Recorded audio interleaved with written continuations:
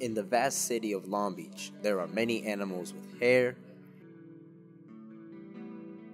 wings, and scales.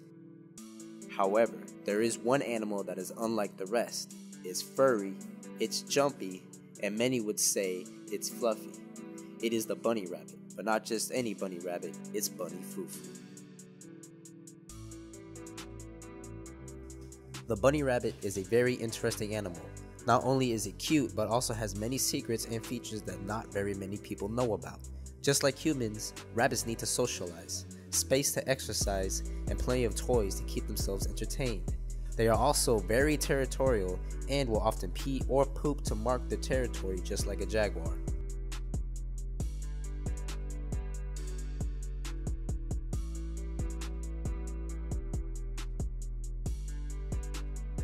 If properly cared for, a bunny rabbit can live 8 to 12 years or more.